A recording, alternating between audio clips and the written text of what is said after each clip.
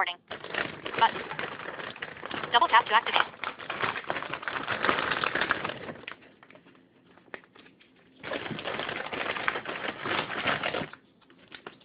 Feels like a neat one.